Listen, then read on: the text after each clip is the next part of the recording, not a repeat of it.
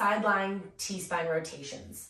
What you're gonna do is you're going to find yourself on the floor with, again, your block, towel, pillow, and you're going to rest your head on the block, get nice and comfy, and you're gonna find yourself directly on your shoulder. So pull yourself underneath, stack your hips, so you're in this nice squared position.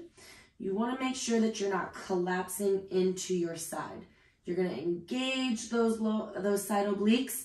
Okay, so you should have this nice space here and you're going to relax your shoulder down and you're going to rotate out as far as you can and come back. So you can see I have the wall in the way here, but you're going to rotate in that T-spine and come back. So the idea here is that I showed you the other way. The idea is not to try to lay flat on the ground. The idea is to try to find that tightness in your T-spine and really work on opening up.